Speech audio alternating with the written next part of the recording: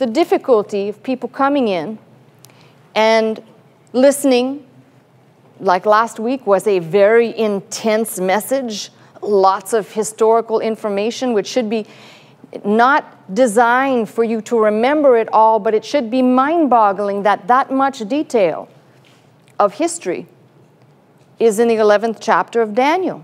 It's mind boggling. And I've told you, some of you go check out what I said because it may vary or differ a little bit from the things you've previously heard. I don't care. I've done my homework and I've said, go and check it out. It's not something, you know, um, some of the better sources that have historical information will be in complete alignment with what I've said on the historical matters.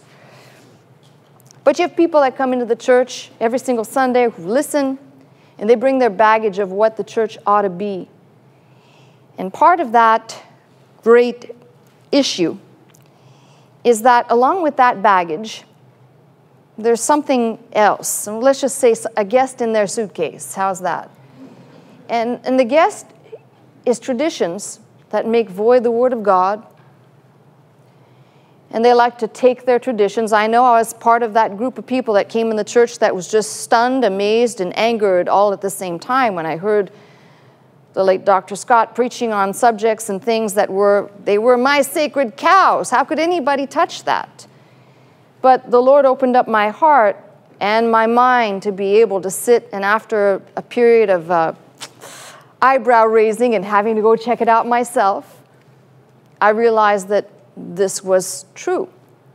Now, I'm praying each time people come into the church that God has opened up your heart and your mind that even if you have come out of a different theological background, be open minded enough. It's the ignorant people that say it can only be this, and they come in with blinders, and God cannot, God can open up those eyes, but it's very difficult when you come in with this kind of vigorous, I will not, I shall not be moved out of what I have known and the problem is, most of those people who are that dogmatic usually do not have a very good grasp of the Bible, let alone the original languages. So you open up several layers of problems.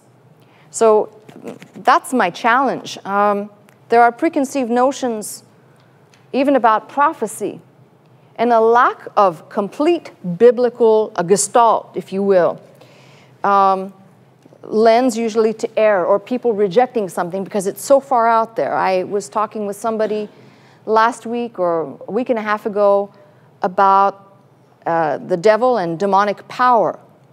And of course, this is coming from someone who's not very strong in the faith, and they said, You do believe this? And I thought, well, okay, how do, how do you approach somebody who doesn't, who's asking me if I believe this when the whole, the whole book is hinged upon three, two and a half or three chapters of God's perfect creation. Well, let's just say the gap between Genesis 1 1 and 1 2 that talks about the recreation, the creation of what is now the earth and man, Adam and Eve, and the rest of the chapters after the third chapter tell of the unfolding drama of redemption and Satan's boy, his plan to thwart and corrupt at every juncture, at every intersection. And failure to understand that is a setup to fail to understand prophetic revelation in its entirety. Let me explain a little bit. You don't have to go too far to the book of Genesis. If you follow the line of thinking that the earth was so corrupt by the time of Noah that God had to send a flood and Noah, build an ark. Now, talk about absolute faith to build an ark for something that had never essentially been seen before. But in obedience to God's word and listening attentively, builds the ark.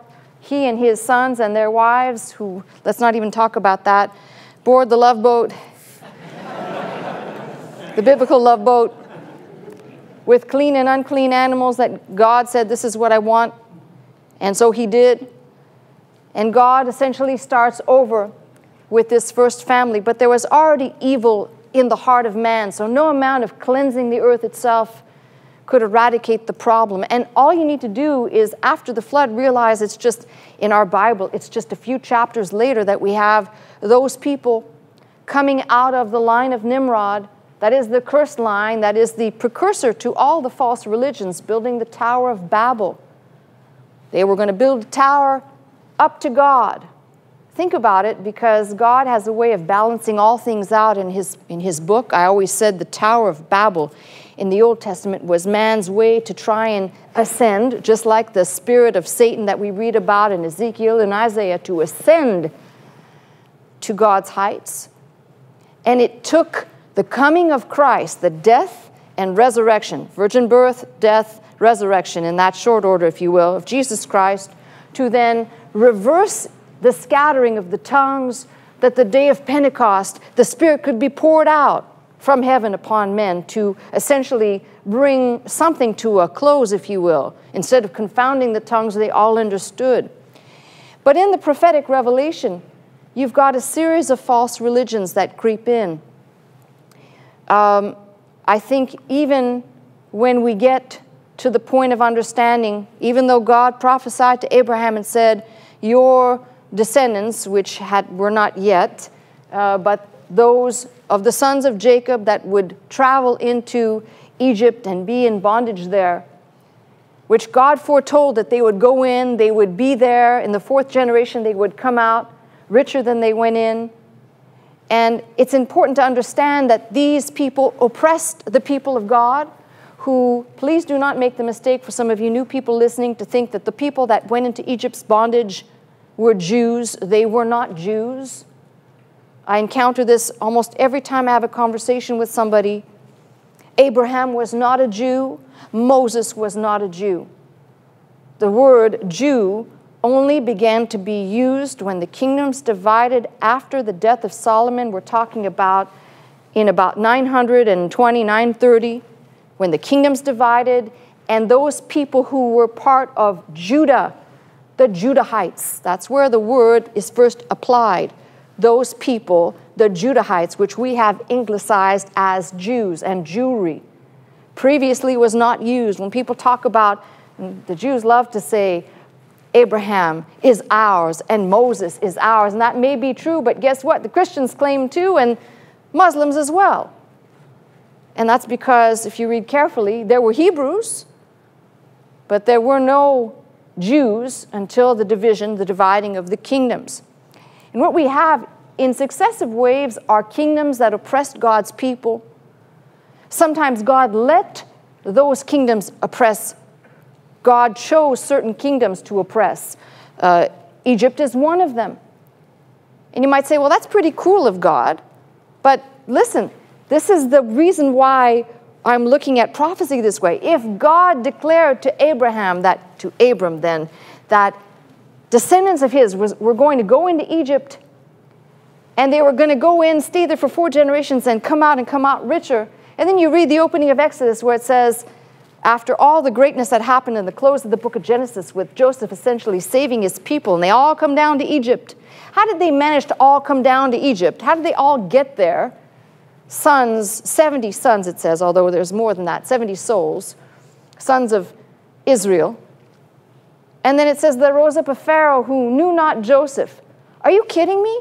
If, if Joseph was that famous and he saved the people, how could there be a Pharaoh that rose up that knew not Joseph, who saved the people? And then, of course, you've got to go back to look at the lines of the pharaohs to understand yes, that's very tenable, especially if it was a child ruler, which was uh, a very common practice in Egypt. And what I'm saying to you is that God used the Egyptians to oppress his people. And they came out, and victory was had, and then another people rose up. Now, you know, there's, there's people in between. There's the Perizzites, the Hittites, the Jebusites. So don't talk to me about going into the promised land and making that a type of heaven. Because if, if I get to heaven and there's Perizzites, Jebusites, and all kinds of sites there, I'm in the wrong place. I made a detour somewhere and it, it certainly wasn't heaven. But the people that, again, in successive waves, oppress and bring false religion.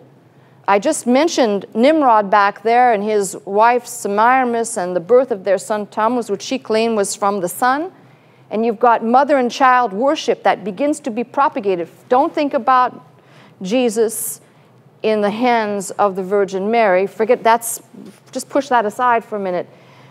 Centuries before, mother and child worship. I collect things, uh, antiquities from Egypt, and you'll be surprised at how many um, artwork depictions of mother and child were already there. We're talking about things that go back to uh, 2000, 2500 BC, mother and child worship. It was a very common thing and became the type, the symbolism that then eventually, as time goes on, is grafted on to our worship. And we suddenly equate the worship of mother and child, which is another corruption.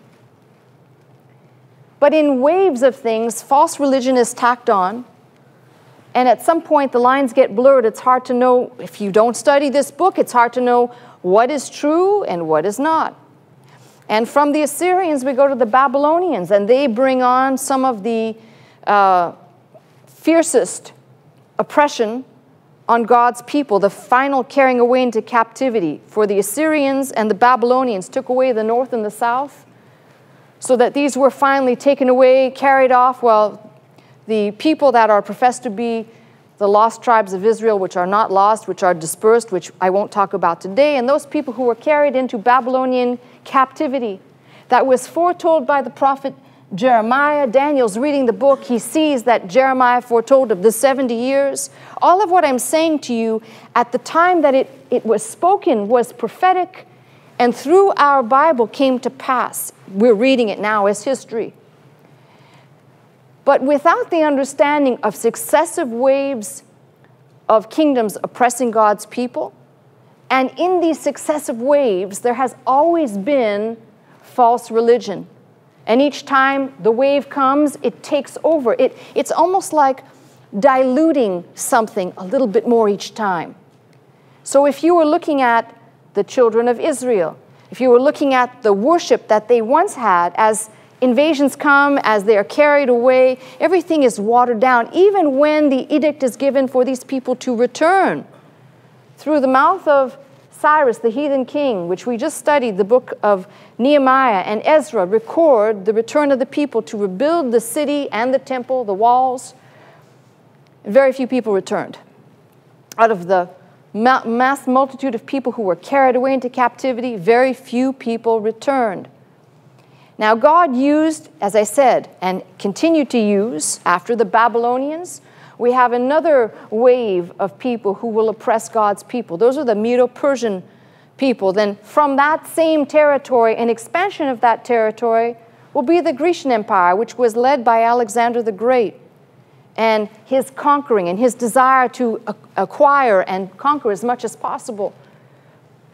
And finally, to the kingdom, which is the Roman Empire, and if one studies the rise and fall of the Roman Empire, you can see how over time there was oppression of God's people until the time of Constantine when Christianity, we're talking about a huge span of time now, to where Christianity is then accepted and tolerated with the Edict of Milan in 313, an edict of toleration to tolerate Christian worship. And Christians ceased to be persecuted for a time, and then there was peace, and then there was more persecution. And each one of these brought a new wave of persecution upon God's people and their brand of putting on, stamping on, grafting on to the practices. If you can find the fundamental root, pagan worship.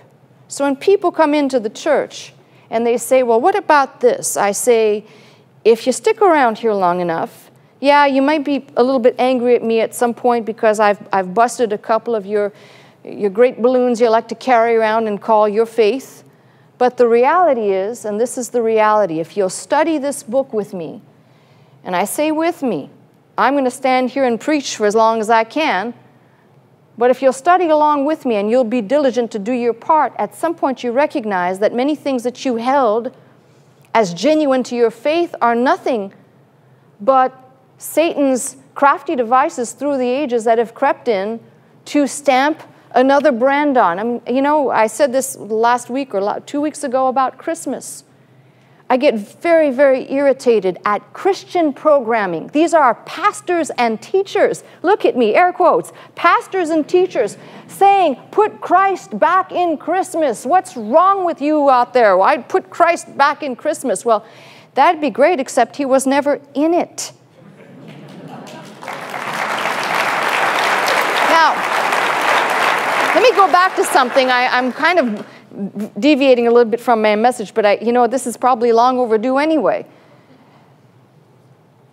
If we cannot start with the premise, let's go take a couple of steps back here. If we cannot start with the premise of God's set times, and God has set times for things. In His book, He has set feasts, He has set times. Even as I just described prophecy to you, He said in the fourth generation, that was a set time for those people to come out. Jeremiah had a set prophecy of the 70 years. There are more revelations of God's timing in the book of Daniel that tell about the 70 weeks of years, 69 of which have passed, and there's a gap of time in God's set time. The last seven weeks, years, will come to pass at the set time when God essentially pulls the switch and says, That's it, here we go. But before that can happen, other things in God's set time must occur. So when people talk about, let's go back to the virgin birth for a minute. And they say, well, that just couldn't be. How could, it's either widely accepted and perverted or rejected because it's so impossible. But if you understand the reality of why the virgin birth, why God had to do it this way, and it makes perfect sense if you're going to study the lineage and if you're going to study the bloodline, if you're going to go through all of those things and the generations and how in God's set time did He work it out that this juncture of this line and this line coincide at the right point from Adam to Christ, making so many generations at the set point that this woman would give birth to Christ the Messiah. And it's impossible, right? To have a virgin birth. Well, Christianity begins with a miracle, and if you're not ready to accept that, you're probably not ready to accept the rest of it because the rest of it requires acceptance of certain miracle premise. Now, people have taken the virgin birth. You want to talk about corruption? And Mary suddenly became perpetual in her virginity. You ladies, try that on for size if you've had a child. But there's an entire faith that's built upon that that venerates her perpetual virginity. And when we talk about this, some of these people are so devout in their worship. This is what is confounding. Very devout, but have never even opened up the book to see that Jesus himself rebuked those people that said, Jesus, your mother and your brothers are here. And he said, Who is my mother and who are my brethren? To his disciples and to the onlooking crowd, except those that do the will of my father. He didn't elevate his mother. Come on. But you'd have to be in the book. So corruption again is grafted on. Then we talk about the, the birth of Jesus Christ. And I just started on this to say about Christmas and how people will get extremely religious around Christmas time. You know, the religious urge, contrary to what some people think, the religious urge, not spiritual, religious urge, I believe comes from the devil the urge. And I say that because you'll notice at these holy days, people will come out and desire to be holy for a day. What does what does holiness unto the Lord mean? It means you've been set apart. It doesn't mean you go into a monastery and you go hide out in a cloister. It means set apart by God. That means, Lord, watch out. You can do whatever you want with me. You can splat me, you can build me up, you can make me, you can tear me down. I'm yours. That's what holiness means. So when people talk about this idea of being religious, they've completely succumbed to the trappings of what I call this incredible lure to, at least for one day, once a year, well, you know, you'll yield to somebody wanting to steal that parking space during that one week but given any other week, man, you got fingers flying out your window, right? And it's not to wave a greeting of Christian goodness, let me tell you. So, when we talk about the birth of Christ, it's important to understand God has set times, and those set times have been laid out. If, as we read the New Testament, Paul says, Christ is our Passover, and we, we read the Gospels and we understand a certain time.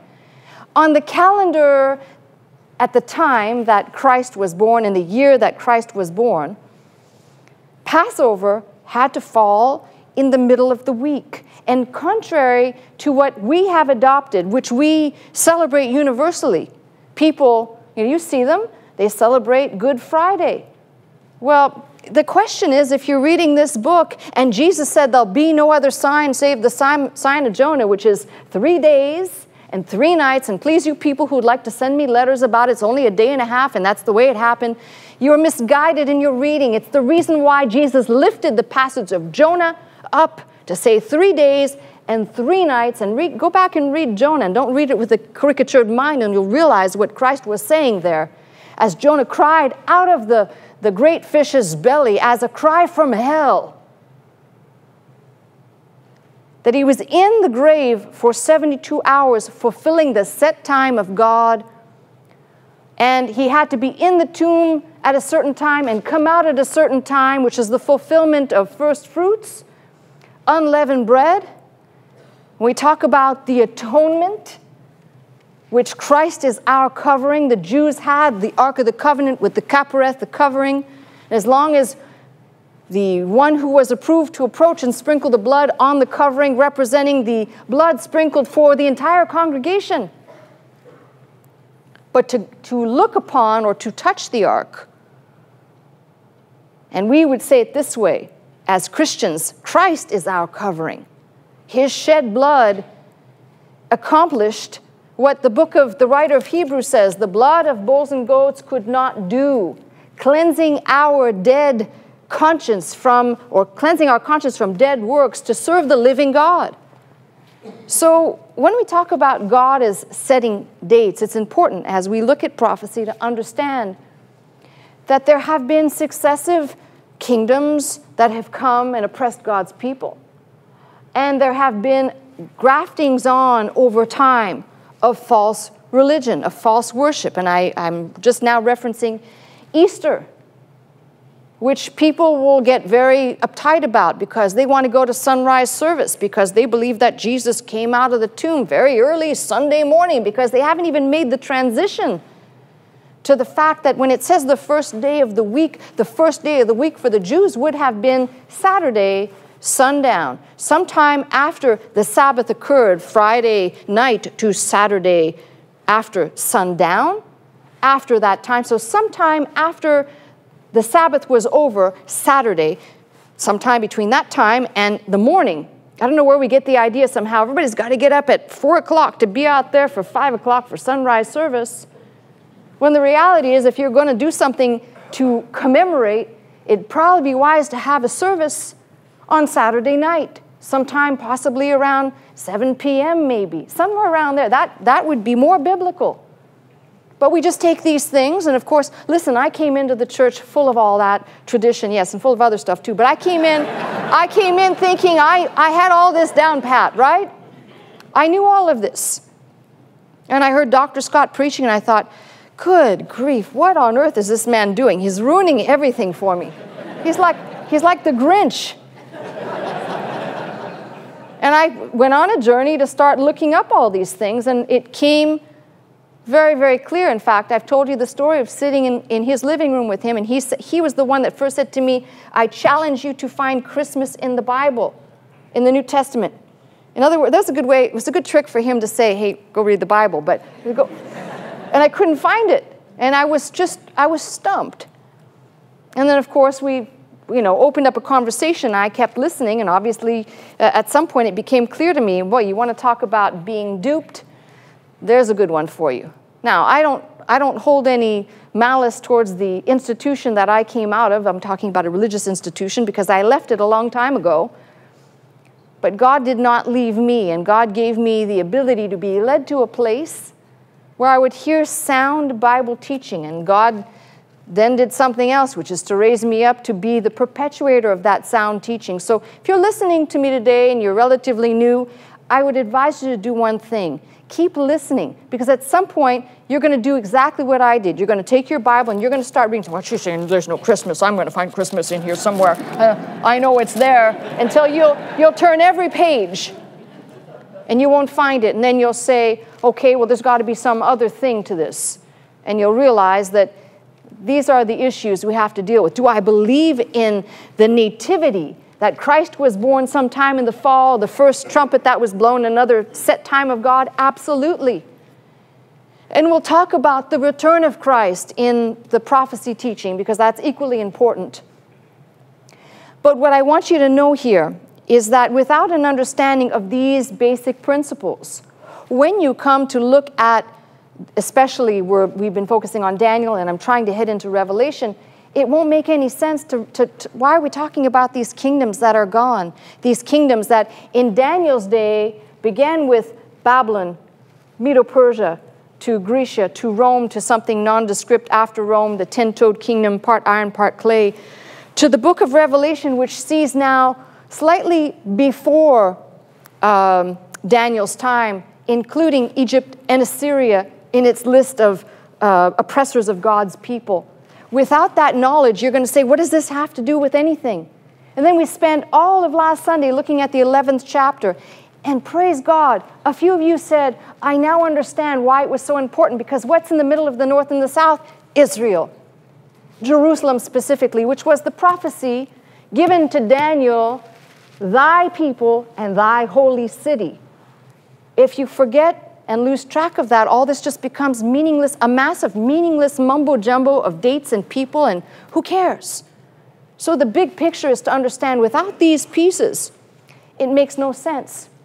And lastly, before I can even get into my message, I have to say this one last thing. I think there, over the course of the church, we have studied the Reformation and even inside the Catholic Church, the Counter Reformation, which some of those people actually did want to reform the Catholic Church. But if you study church history and then you study the church in America, there have been several attempts to go back to some form of orthodoxy, which for the church, the Catholic Church, led to legalism. Even for the Protestant church, unfortunately, the same thing happened. And a group of neo Orthodox theologians uh, sometime in the 1900s, and that didn't last very long because with the introduction of progressive education and with many other things that changed and the breakdown of the family and the breakdown of the educational system and the study of this book which has basically become something archaic to most people what you have you must have something to replace this with. So you can go to a church where everybody walks in and has their bible neatly tucked under their arm and they sit down and it goes somewhere underneath them and they might raise it up for just a few seconds while the pastor says wah, wah, wah, wah, wah, wah, wah, and then that's it. And very easily, yes, and very easily, did you like that one? And very easily, and very easily, humanism and psychology take over. We have to tell people how to solve their problems apart from God because teaching people about the promises of God and God's fidelity, this is why I, I decided to tackle prophecy because once you begin climbing the pilgrim's pathway on the promises of God and you realize God is there, He's real, He's with you, you begin to climb up the stairs of prophecy and you realize that if God has made good on all these things, He's going to be with me. He's not going to let me down. He's going to take me all the way. I just have to stay focused. A lot of these folks come in and they, they think, well, uh, they, they should talk about abortion, they should talk about homosexuality. What about that other bathroom problem? And, you know, let me just tell you something. I'm going to say it again for the benefit of those people who, who don't understand. It is the it is the eroding of sound biblical teaching that Timothy was warning of, that Paul warned of. There'll come a time when they will not endure sound doctrine. People with itching ears, people who desire to have things said to them that are smooth and well pleasing, versus you know, this makes me uncomfortable. Or how about this? How many people have sat in this church and said, I don't understand what he or she is saying? How many have done that? I've done that. I don't understand. I don't get it. You know what that is? That's called an opportunity of faith for you to sit for another Sunday, another 10 Sundays, another 100, maybe for the rest of your life. Maybe God will be gracious. In the last day that you're here on earth, a light will go on. Oh, that's it. It all came together, right? But humanism is the most dangerous thing to have penetrated the church. And don't think this is, this is new. I studied this as part of my studies on the Catholic Church and the father, I won't call him the father of humanism, but More's Utopia painted the picture of, of what we could do um, to, to intervene. You've got people like Erasmus, the same thing, very humanistic mindset. And so don't think that that's an archaic problem because in the future, and we're seeing it now with our government, and we're seeing it more and more with churches who forget that the mission of the church of Jesus Christ, Christ said, I will build my church, my ecclesia, my outcalled ones. And he didn't call out people from among other people so that you could go out and do other things apart from the first things first. Learn what's in this book. You want to go out and help people and do whatever, do it because you want to do it. Don't think that it's going to get you into heaven. It doesn't work like that. Everything was done by Christ. If there's anything that you can claim you have done to merit getting in, you have, you have frustrated, you have wasted the complete sacrifice of Christ at Calvary and all that he did in shedding his blood for you and for me. So when I talk about the idea of humanism, don't think it's an old problem. It's an old problem that is still it's still evolving and it will get progressively worse as the church reaches its end time. Now, why do I give all this as a, as a background? It only took me 30 some minutes to do this. But let me just say this to you. Part of the problem is that when we begin to study these set times, when we begin to look at, as I said, Daniel and Revelation, and we'll also need to look at Zechariah, Zephaniah, Micah, and Amos, um, we're going to see that when God says in many diverse places, the indignation, the wrath of God, the, the, Jacob, the time of Jacob's trouble. There will be a time that God says, enough now. And that time is described as tribulation, the great tribulation, which encompasses the last of the 70 weeks of years in Daniel's prophecy. And I will have to teach on this because there's a lot of people who don't have that foundation. That's fine. But there is a final period of weeks, which we call the seven weeks of years in Daniel's prophecy that have not yet been fulfilled. And we talk about God setting times and dates. And we also, I've just referred to false religion, and I've referred to specifically things being grafted on and the setup for humanism. That's all, it's all going to get larger and greater and more magnified as we approach those last seven years. In order for Antichrist to come to power, which we have been studying, believe it or not, in the book of Daniel. But in order for Antichrist to come to power, certain things must happen. And there's great confusion. I believe me, I have every single commentary that you could possibly read. Some people believe he'll be, he'll be straight out of the uh, Islamic Muslim background. Others believe he'll be a Jew coming out of that territory. I believe that he's going to be a little bit of this and a little bit of that. That's the way he's going to come to the table and be a peacemaker and bring everybody together and say, come on, let's make a deal. Let's have a peaceful deal. Revelation 6, as the Lamb is opening up the seals in heaven, the seals, by the way, that were closed by Daniel, Daniel 12. So I can start putting this, this mess together here. Daniel 12 because we still have a lot of teaching out of Daniel to do, but I want to try and bring some things together today. Daniel 12 says, And at that time, what time? At that time, which takes us back to Daniel 11, verses 35b all the way to 45. All the events that will happen in those verses, and there was no chapter and verse when this was written At that time shall Michael stand up, the great prince which standeth for the children of who? Thy people. So when people talk about Michael, sometimes referred to as the archangel, but Michael is the angel to who? Thy people, Daniel's people. Now we're talking about the Jews.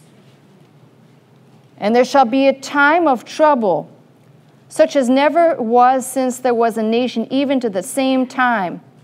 And at that time, thy people shall be delivered, every one that shall be found written in the book.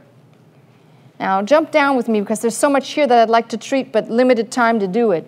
But thou, Daniel, shut up the words and seal the book, even to the time of the end. Keep reading. Verse 9, he said, Go thy way, Daniel, for the words are closed up and sealed till the time of the end. And Daniel's prophecy closes with verse 13 But go thou thy way till the end be, for thou shalt rest and stand in thy lot at the end of the days. I can't wait to teach on that verse because that verse is like when you see it aright, you'll say, Whoo, if I was if I if I was Daniel and I was hearing this instead of it being lost in translation somewhere, I'd be doing a hallelujah dance. But what's being said to Daniel is now you've been given this incredible information. Some of it was explained, some of it was revealed. Oh, we haven't gotten to the ninth chapter, which tells of Messiah coming and Messiah being cut off.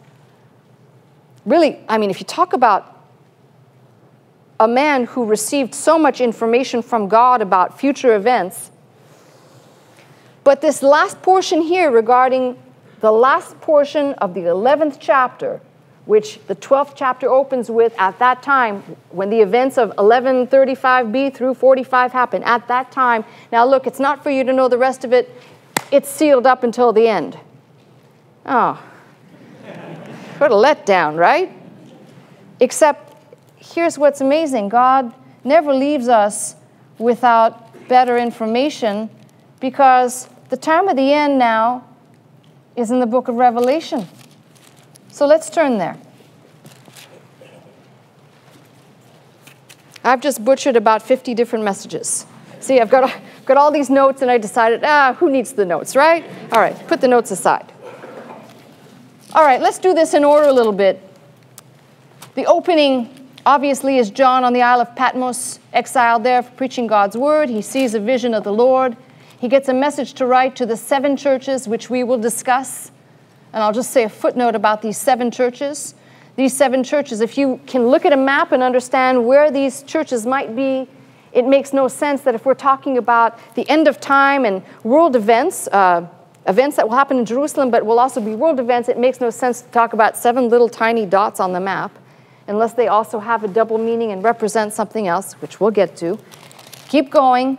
And now in the fourth chapter, you have John, who from writing these seven churches, now hears a voice like of a trumpet talking with him. Wah, wah, wah, wah, right?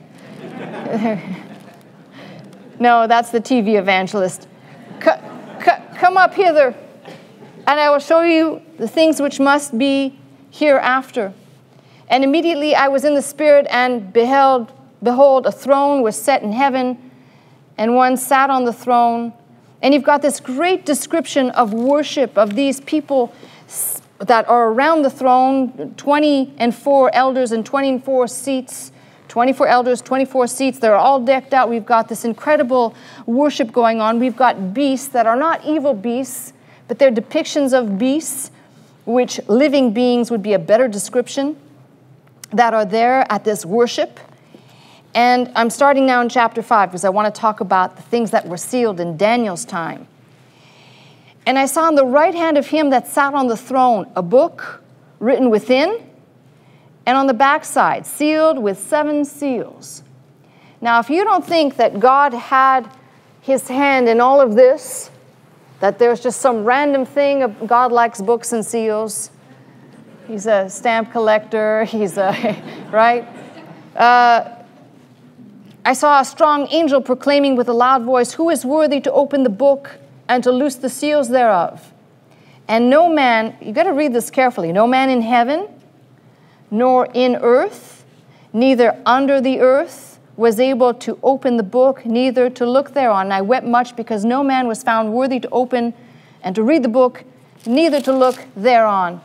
And one of the elders saith unto me, Weep not, behold, the lion of the tribe of Judah, the root of David, David. Uh, I'll read King James, but it's a poor translation, hath prevailed to open the book and to loose the seven seals thereof. And I beheld, and lo, in the midst of the throne, and of the four beasts, and in the midst of the elders stood a lamb as it had been slain, having seven horns, seven eyes, which are the seven spirits of God sent forth into all the earth. I want you to remember what John is seeing is the reality, and everything else that will be seen that is the dupe, the, uh, the fraud, the corrupted version will be something that sounds like, that looks like, which is why the church world today, even, can be duped so easily. Why do you think when people hear healing ministry, miracle healing ministry, and people are falling down and or what, they're rolling all over the place, and people say, "Oh, I got to go! I got to go to that service." You heard about the guy who was this is many years ago. He was holding his services in Florida, and people were lining up, and they had, you know, somebody's kid was. It's very tragic. The kid was bound in a wheelchair. I believe God heals. I just don't believe He heals that way. Doesn't, you don't need to have a circus spectacle show. God can heal you in the privacy of your own home. He can heal you in your car. He can heal you while you're sitting on the toilet. I don't believe that he needs the fanfare and the accolades. And by the way, this particular guy who was the healing minister, while they didn't know, they set up a hidden camera and he was backstage getting high, having a couple of beers and hitting up who knows what. So when he came out, he looked like he was in the spirit.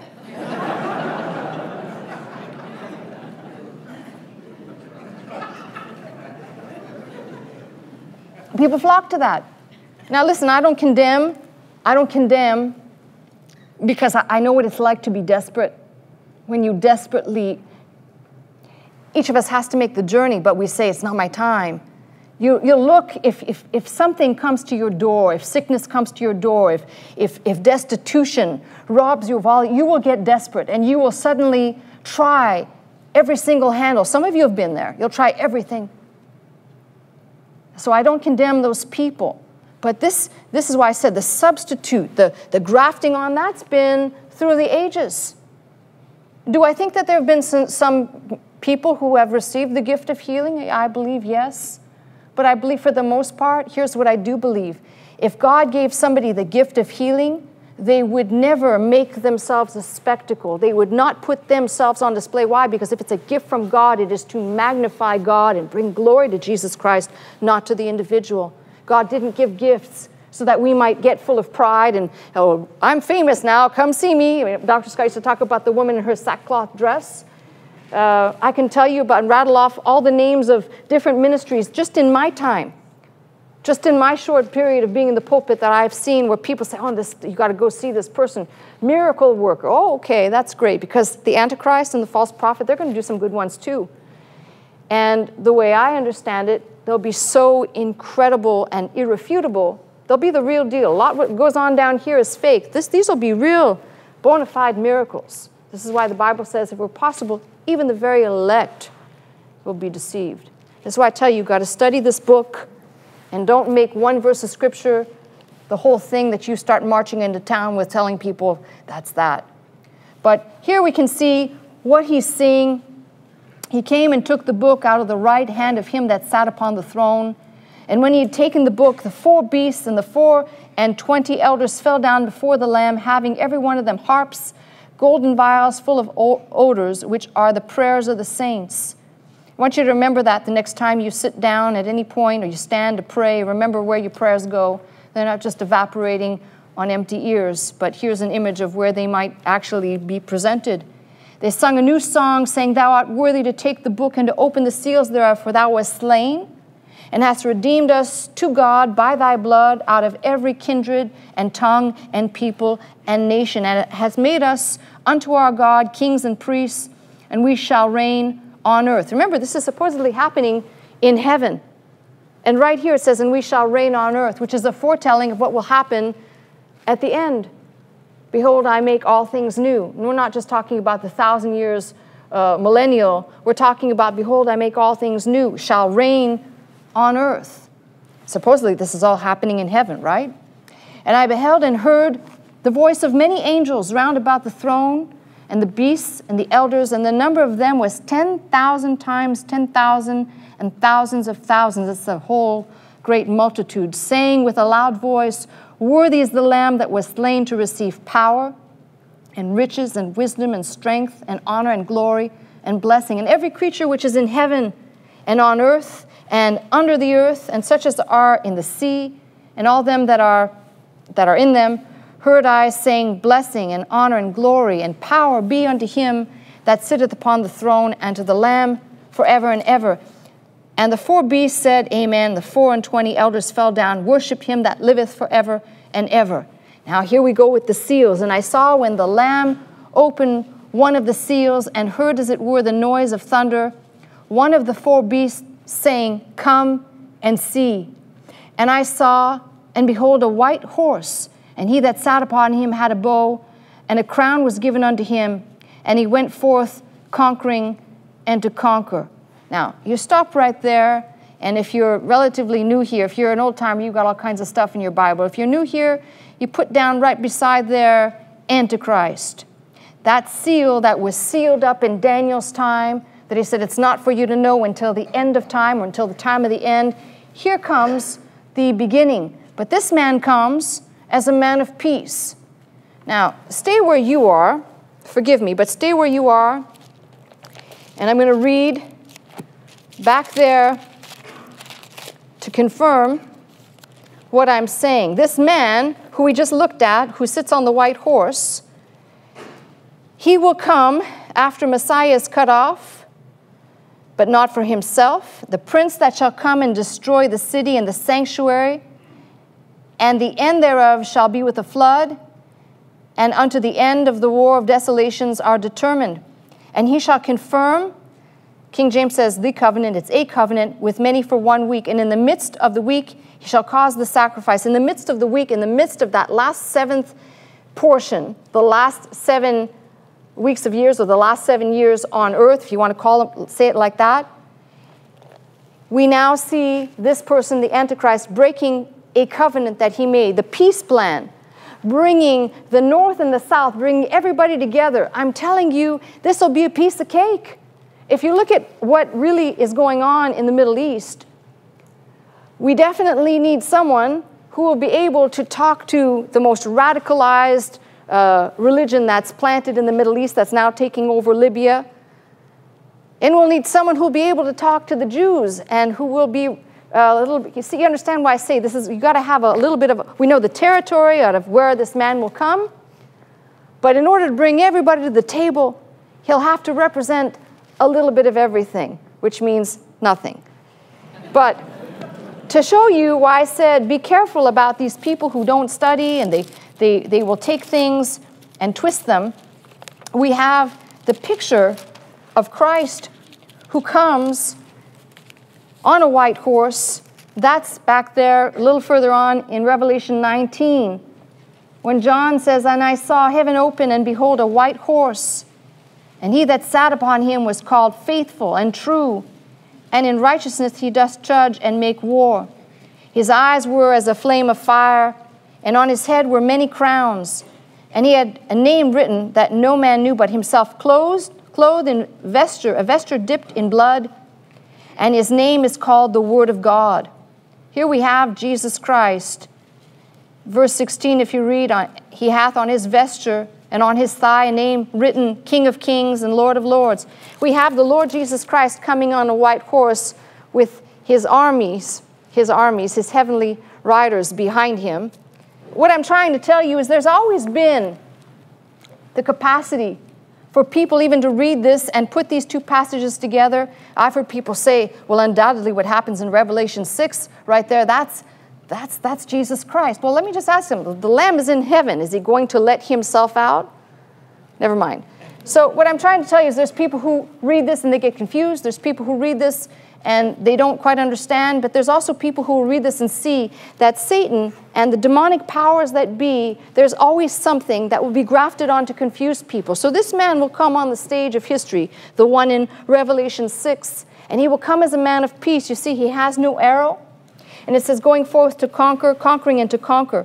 He'll have no arrow. That last portion of what we're talking about, the last, we'll call it the last seven weeks, or of the 70 weeks, 69 that have been accomplished, and the one that remains. A window of time must pass until this man of peace breaks the covenant. And we call that period the three and a half years. And we'll discuss the, the places where it talks about 42 months and time that's given.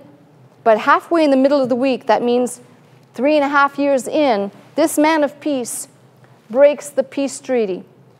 And the demon that inhabited Alexander the Great will then possess this man, and the demons that are unleashed will make this man and everything that happens on earth, it will be like, as was described both in Daniel and other places, such as was never seen before. The type of, Daniel 12, I just read from, never seen before, the type of things that will be poured out on the earth. Now, the first question that people ask is why? Why must God do this? And why must it happen this way? And the first thing I'm going to tell you is because God declared it in His Word. I'm not here to give you my opinion. If it was me and I was God, I would have wiped the world out a long time ago and just settled the problem, solved it a long time ago. Thank God I'm not God, and God's got a plan, which, if you read carefully, you'll find out that the wrath that is poured out is a combination of things. We've, we have to talk about eventually the Jews and the bringing together of two factions, if you will, uh, to become one, which is what the book of Ezekiel talks about, reuniting uh, two parts of Israel that must become one before this takes place. We've got a lot of different things that must happen. God will reconcile his people to himself and will bring them to a place which is what Zechariah talks about. When Christ returns and his feet touch down on the Mount of Olives, changing the geographical territory, opening up that space and creating a place where water may flow, which will be the water that flows from out of the temple that Ezekiel spoke of. Good grief. Here I go again, got 50 other messages going. but what I'm trying to say is that in this depiction, we have in Zechariah's book, it says they'll look upon him whom they've pierced and they'll mourn. There will, there will be people that will recognize this indeed is the Messiah. We missed the boat. We did this to him. And there'll be other people that refuse to acknowledge both Jew and Gentile. This is the wrath of God that will be poured out on the earth. Now, there's the wrath of God, which is what we've often read through the Old Testament, which is the punishment of those people who refuse to turn back to God. But if you read carefully, you must distinguish between punishment upon God's people, as in the time that was prophesied by Jeremiah, and the ultimate punishment, which the New Testament calls tribulation, the Great Tribulation. All of that must be accomplished. Then Christ will set up his millennial kingdom. We have to have first the, the Battle of Armageddon, the millennial kingdom, which will be set up, the last battle, which will be by a very stout area, geographical area, which is known to refuse religion anyway, the territories of Russia and China the last chapter in God's book of the people of the earth will not be a nuclear holocaust. It'll be God blotting out the last, after the millennial kingdom is set up and we've got Russia and China coming down, God is going to wipe those people out who have not repented. Will there be preachers of righteousness during this whole time? Absolutely. The 144,000, which we'll talk about. I'm doing like an overview and a mixing pot of things. We'll have two witnesses who come to preach who will come preaching and proclaiming the gospel message, who will be actually killed and they'll lay in the street for a couple of days, three and a half days, and they'll be resurrected. The whole world will see that. If you saw that, you might become a believer too. Uh, so there's going to be a whole bunch of things going on, but the bottom line is that God has to put an end to the evil on earth. And bringing another flood, he said, I'll never flood the earth again. That won't fix it. I sent my only begotten Son to pay the price, but that still didn't fix it. So we read from Isaiah and Peter two things that we can glean. God will send a fervent heat that will essentially melt after all of these things have taken place, that will essentially melt away everything that is. That could be the, the, um, the nuclear thing that people talk about. But all I'm telling you is that it then says, God says, Behold, I make all things new a new heaven and a new earth. And that place where we will rule and reign will be in the recreated earth. And if you think all of that's just way out there, far nutty, I could tell you a lot more nuttier things. But I've got good Bible to back this up. And the reality is when I tell you, you know, people come in and they think, okay, heaven. I've heard people talk about heaven and how they think heaven is some type of holding pen. And if you've come out of the Catholic tradition, you know that you know, purgatory is taught, and you, are taught that you're, you're there until somebody can either pay you out of there or they can pray you out of there, which sounds, by the way, like religious Christian television. But what I'm trying to say is that none of these things are games with God. And He gave this revelation very crystal clear to Daniel. The details that He gave that we have still yet to study must be opened up to really understand the scope and magnitude of precision of the things that from Daniel's perspective, how could he know? Even if you gave license and said he wrote it later than he did, how could he know about Messiah being cut off but not for himself? We could talk about Messiah coming, but how would he know not for himself? And how would he know that there'd be one that would come after him that would bring the desolation into the sanctuary? And do these things that we know the Antichrist will do. So there is a purpose for doing all this. Yes, I want everybody to know, I want your, your pages to be marked up. There's no crime in marking up the pages and taking notes and putting them somewhere where you can actually read them. But the point is for you to be able to open up this book and understand everything in here fills a need and purpose for the child of God. And for me, yes, we need to revisit some of the promises for other things, but the promise of God basically saying, I'm going to take care of this old earth and I'm going to take care of those who wouldn't hear.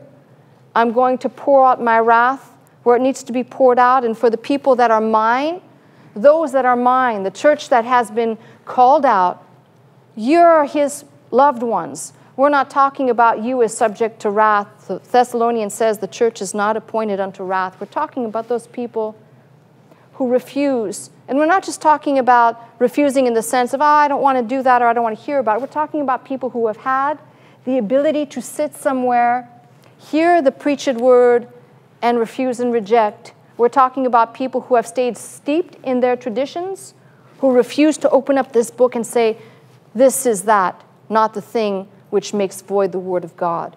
So for me, I think this is a great uh, I've just leveled the field and tried to bring some things together. We still need to talk about the Antichrist in great detail, his territory, the beast, the false prophet. We've got so many things to pick apart here that we're going to need much more time. I don't have it today, so I hope you'll come back next time. That's my message. come on up. You've been watching me, Pastor Melissa Scott, live from Glendale, California at Faith Center. If you would like to attend the service with us Sunday morning at 11 a.m., simply call 1 800 338 3030 to receive your pass. If you'd like more teaching and you'd like to go straight to our website, the address is www.pastormelissascott.com.